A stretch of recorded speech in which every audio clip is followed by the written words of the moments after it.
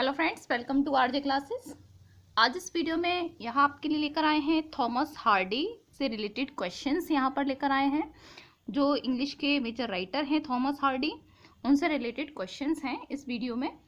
इसी तरीके से हम अलग अलग राइटर से रिलेटेड या उनके वर्क से रिलेटेड वीडियोस लेकर आते रहते हैं क्वेश्चंस के रूप में भी और उनकी राइटर्स की बायोग्राफी उनकी मेजर वर्क्स के बारे में इस तरीके से हम इंग्लिश के नोट्स आपके लिए लेकर आते रहते हैं। अगर आप इंग्लिश की प्रिपरेशन कर रहे हैं तो प्लीज़ चैनल को सब्सक्राइब कर लीजिए और साथ में जो बेल आइकन है, उसे भी प्रेस कर दीजिए। आइए स्टार्ट करते हैं। फ़र्स्ट क्वेश्चन है Hardy was born in Hardy का जन्म हुआ था इन 1840 में। Next in which English country Hardy was born Hardy का जन्म किस इंग्लिश कंट्री में हुआ था? तो उनका जन्म हुआ था डोरसेट में। नेक्स्ट ही डाइड इन उनकी डेथ हुई थी 1928 में। Next Hardy began his career by writing Hardy ने अपना करियर स्टार्ट किया था। सबसे पहले उन्होंने क्या आ, क्या लिखकर अपना करियर स्टार्ट किया था? तो सबसे पहले उन्होंने पोइट्री लिखी थी। नेक्स्ट है Hardy is called the novelist of Hardy को नोबलिस्ट कहा जाता है। कैसा नोबलिस्ट कहा जाता है उनको? The Wessex region Wessex region का नोबलिस्ट उनको कहा जाता है। नेक्स्ट क्वेश्चन है, Hardy is known as. Hardy को किस रूप में जाना जाता है? उनको जाना जाता है last great Victorian poet and novelist. Last great Victorian poet and novelist के रूप में उन्हें जाना जाता है। नेक्स्ट है, Hardy was honoured with. Hardy को सम्मानित किया गया किस किससे सम्मानित किया गया? उन्हें ऑर्डर ऑफ़ मेरिट से सम्मानित किया गया। Next Hardy received the love of music from his Hardy ने लव ऑफ़ म्यूज़िक जो वायलिन बजाने का जो म्यूज़िक था, वो उन्होंने किससे रिसीव किया? ये उन्होंने रिसीव किया अपने फादर से। नेक्स्ट है who was awarded a medal for his essay on modern architecture in 1863 किससे मेडल मिला था अपने ऐसे पर जो कि मॉडर्न आर्किटेक्चर पर लिखा गया था इन 1863 1863 में मॉडर्न आर्किटेक्चर पर जो ऐसे लिखा गया था, उसके लिए मेडल अवार्ड किया गया था, वो कौन थे? वो हार्डी थे। Next before moving to London in 1862 Hardy trained as what London move करने से पहले सिक्सटी टू में लंदन को मूव करने से पहले हार्डिक ने ट्रेनिंग ली थी किस चीज़ की? आर्किटेक्ट की। Next what is mean by Wessex Wessex का मीनिंग क्या है यहाँ पर? The region which Hardy is novels are set region है एक क्षेत्र है जहाँ पर हार्डी के नोवेल्स हार्डी ने अपने नोवेल्स को सेट किया हुआ है इस रीजन में इस क्षेत्र में जो कि वेसेक्स नाम से जाना जाता है। Next Hardy is called a Hardy को कैसा uh, क्या कहा जाता है? उनको रीजनल नोबलिस्ट कहा जाता है। नेक्स्ट क्वेश्चन है Hardy's philosophy of life has been taken as Hardy की जो फिलोसफी है लाइफ की, वो किस रूप में ली जाती है? वो पैसिमिस्टिक रूप में है। मतलब जो हार्डी ने लाइफ की फिलोसफी दी है, वो किस रूप में है? वो पैसिमिस्टिक रूप में है। नेक्स्ट है हु सेड किसने कहा God is not there in heaven कि गॉड हेवन में नहीं है। Everything is wrong with the world. पूरे वर्ल्ड के साथ ये सब कुछ मतलब पूरा वर्ल्ड गलत है सब कुछ गलत है इस वर्ल्ड में गॉड uh, हेवन में नहीं है। किसने कहा? थॉमस हार्डी ने कहा। जैसा कि सब मानते हैं कि गॉड कहाँ रहते हैं? हेवन में रहते हैं। तो हार्डी ने कहा कि ऐसा कुछ भी नहीं है। पूरा जो वर्ल्ड है वो पूरा वर्ल्ड गलत है। गॉड हेवन में नहीं रहते हैं। नेक्स्ट है which one of the Hardy's novels ends with the line Hardy के जो नोवेल्स हैं, उनमें से कौन सा नोवेल इन लाइन से एंड होता है? Justice was done and president of the immortals in Aeschylean phrase had ended his sport with Tess ये जो लाइंस हैं, ये लास्ट लाइंस हैं, किस नोबल की लास्ट लाइंस है हार्डी की? जस्टिस वॉज़ डन कि जस्टिस हो चुकी है, न्याय हो चुका है and the president of the immortals और इमोर्टल्स का जो प्रेसिडेंट है in Aeschylean phrase had ended his sport with Tess उसने अपना आ, मतलब जो प्रेसिडेंट है मॉडल्स का उसने अपना स्पोर्ट ख़त्म कर दिया है अपने स्पोर्ट का अंत कर दिया है अपने खेल का अंत कर दिया है विद टेस्ट टेस्ट के साथ में। तो ये लाइन्स हैं लास्ट लाइन्स हैं Tess of the d'Urbervilles की नेक्स्ट है which was Hardy's first novel Hardy का फ़र्स्ट नोवल कौन सा था? The poor man and the lady next Hardy produced a novel Hardy ने एक नोबल प्रोड्यूस किया the spectre of the real in collaboration with ये किसके साथ कोलाबोरेट किया था उन्होंने इस नोवेल को? The spectre of the real को ये किया था उन्होंने फ्लोरेंस हैनिकर के साथ। नेक्स्ट है which novel of Thomas Hardy has a chapter in which a man sells his wife Thomas Hardy के किस नोवेल में एक चैप्टर है, जिसमें एक मैन अपनी वाइफ को बेच देता है? वो है the mayor of Casterbridge the mayor of Casterbridge से रिलेटेड जो क्विज है क्वेश्चंस है, वो हम पहले अपलोड कर चुके हैं अपने चैनल पर। अगर आप देखना चाहते हैं इसके, इससे रिलेटेड क्वेश्चन तो आप चैनल पर वीडियो देख सकते हैं। नेक्स्ट क्वेश्चन है in which novel Hardy uses the following lines taken from Shakespeare's play King Lear अपने किस नोवेल में हार्डी ये लाइंस यूज़ करते हैं, जो कि शेक्सपियर के प्ले किंग लियर से ली गई हैं as flies to wanton boys, are we to the gods? They kill us for their sport. As flies to wanton boys जिस तरह से फ्लाइज है वॉन्टन वॉइस के लिए, are we to the gods, उसी तरीके से हम हैं गॉड के लिए, they kill us for their sport वो हमें मारते हैं किस लिए? अपने स्पोर्ट के लिए, अपने मनोरंजन के लिए, अपने खेल के लिए। ये लाइन्स ली गई हैं Tess of the d'Urbervilles में। नेक्स्ट है the subtitle of Tess of the d'Urbervilles is Tess of the d'Urbervilles का सब टाइटल क्या है?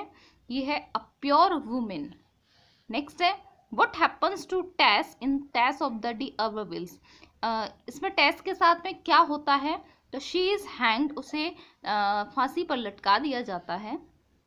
Next whom does Tess kill in a fit of emotional fury Tess को एक fit आता है fit यानी कि एक तरीके से दौरा जो पढ़ते हैं, वो इमोशनल फिट में वो किसे मार देती है टेस तो वो मार देती है एलेक डी अवर विल्स को। नेक्स्ट है who is the rival of Henchard in the mayor of Casterbridge mayor of Casterbridge में हेंशार्ड का राइवल कौन है? वो है डोनाल्ड फारफ्रे। डोनाल्ड फारफ्रे पहले हेंशार्ड के साथ काम करता है क्योंकि हेंशार्ड पहले उसे अपना मैनेजर के रूप में रखता है अपने यहाँ पर और कुछ टाइम बाद कुछ प्रॉब्लम्स उनके साथ क्रिएट हो जाती हैं। उसके बाद डोनाल्ड अपना अलग बिज़नेस खोल खोल लेता है। इस तरीके से वो हेंशार्ड का राइवल बन जाता है। नेक्स्ट क्वेश्चन है, in which year Hardy announce that he would not write fiction again किस ईयर में हार्डी ने अनाउंस किया कि वो फिर से फिक्शन नहीं लिखेंगे? तो वो ईयर थी 1896 नेक्स्ट है who is Jude Fawley's cousin in Jude the obscure Jude the obscure में जूड फॉले का कजिन कौन है? Sue Bridehead next which novel of Hardy first gained notice Hardy के किस नोवल ने सबसे पहले नोटिस गेन किया था? किस नोबल को सबसे पहले जाना गया था उनके तो वो नोबल था उनका far from the madding crowd next है who conferred the order of merit on Thomas Hardy Thomas Hardy पर ऑर्डर ऑफ़ मेरिट किसने कन्फर किया था? जो ऑनर दिया गया था थॉमस हार्डी को ऑर्डर ऑफ़ मेरिट का, वो किसने कन्फर किया था? वो किया था जॉर्ज फिफ्थ ने। नेक्स्ट है which poem of Hardy deals with Napoleonic wars Hardy की कौन सा नोबल सॉरी कौन सी पोइम है हार्डी की जो डील करती है नेपोलियोनिक वॉर से? नेपोलियनिक वॉर को डील करती है कौन सी पोइम है? वो है इनकी द डायनेस्ट नेक्स्ट है what was Hardy's father's profession Hardy के फादर का प्रोफेशन क्या था? वो स्टोन मैसन थे। Next what was the title of Hardy's first volume of poetry publish in 1898 Hardy की जो first volume of poetry publish हुआ था 1898 में, उस वॉल्यूम का टाइटल क्या था? वो था वेसेक्स पोएम्स। नेक्स्ट क्वेश्चन है, in Tess of the d'Urbervilles what name does Tess give to her illegitimate son? Tess of the d'Urbervilles में टेस अपने इलेजिटिमेट सन को क्या नाम देती है? तो वो नाम देती है सोरो, जो कि उसका इलेजिटिमेट सन है। Next Hardy's life and career are obliquely depicted in Hardy की लाइफ और करियर को किसमें डेपिक्ट किया गया है? तो उन उसको डेपिक्ट किया गया है ज्यूड द ऑब्सक्योर में। Next the following lines are taken from ये लाइन्स कहाँ से ली गई हैं? The land's sharp features seem, seem to be the century's corpse outlined. The land's sharp features seemed to the century's corpse outlined. ये lines कहाँ से ली गई हैं? ली गई हैं डार्कलिंग थ्रश से। नेक्स्ट है, about which novel of his own Hardy remark a war between flesh and spirit. About which novel of his own Hardy के अपने कौन सा उनका नोबल है, जिसमें वो एक वॉर रिमार्क करते हैं, फ्लैश एंड स्पिरिट का वॉर। किसका वॉर? फ्लैश एंड स्पिरिट का वॉर जिसको वो रिमार्क करते हैं, अपने किस नोबल में करते हैं, वो है ज्यूड द ऑब्सक्योर में। Next which was Hardy's first serial novel Hardy का पहला सीरियल नोबल कौन सा था? वो था a pair of blue eyes next under the greenwood tree is a novel by under the greenwood tree ये novel किसके द्वारा लिखा गया है? ये थॉमस हार्डी के द्वारा लिखा गया है। नेक्स्ट क्वेश्चन है. In the year 1872 a week or two before Hardy's thirty second birthday in seventy two में हार्डी के थर्टी सेकेंड बर्थडे से टू uh, uh, या वन वीक पहले one of his books was publish उनकी एक book publish हुई थी publish हुई थी which confirm Hardy in his profession as a writer. जिसने हार्डी को उनके राइटिंग प्रोफेशन कंफर्म किया था, यानी कि कौन सी बुक थी, कौन सी बुक उनकी पब्लिश हुई थी, जिसने हार्डी को एक राइटर के, प्रोफेशनल राइटर के रूप में कंफर्म किया था तो वो बुक कौन सी थी? वो बुक थी अंडर द ग्रीनवुड ट्री, जो कि उनके थर्टी सेकेंड बर्थडे से वन या टू वीक बिफोर पब्लिश हुई थी। और जिसने हार्डी को एक प्रोफेशनल राइटर के रूप में कंफर्म किया था। नेक्स्ट है Hardy's novel under the greenwood tree is also known by another name Hardy का जो नोबल है अंडर द ग्रीनवुड ट्री ये एक और नेम से जाना जाता है। वो नाम क्या है? The Mellstock quire next the dynasts is Thomas Hardy's जो डायनेस्ट थॉमस हार्डी के द्वारा लिखी गई है, वो है एक वर्स ड्रामा है। Next Bathsheba is the heroine of Bathsheba heroine है, किसकी? Far from the madding crowd जो नोबल है हार्डी का, उसकी हीरोइन है। Next the name of the protagonist of the mayor of Casterbridge is the mayor of Casterbridge में protagonist कौन है?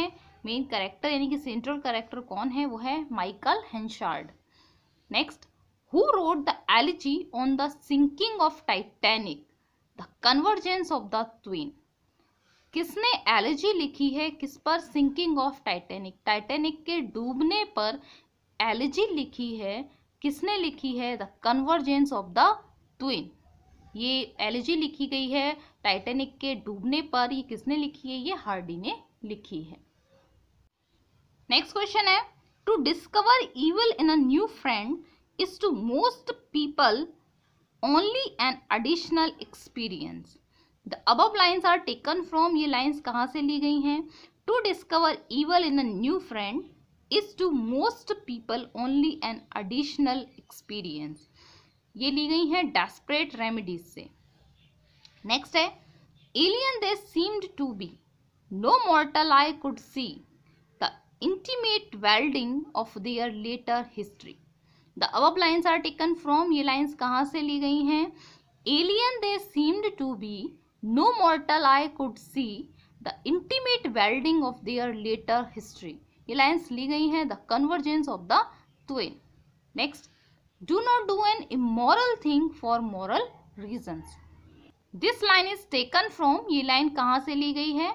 ये ली गई है जूट द ऑब्सक्योर से. Do not do an immoral thing for moral reason next है my argument is that war makes rattling good history but peace is poor reading the above lines are taken from ये lines कहाँ से ली गई हैं? The डाइनेस्ट से part two से डाइनेस्ट के पार्ट टू से ली गई हैं। माई आर्ग्यूमेंट इज़ दैट मेरा आर्ग्यूमेंट ये है कि war makes rattling good history war जो होते हैं, वो बहुत ही रेटलिंग गुड हिस्ट्री बना देते हैं, एक इतिहास रच देते हैं जो वॉर होते हैं।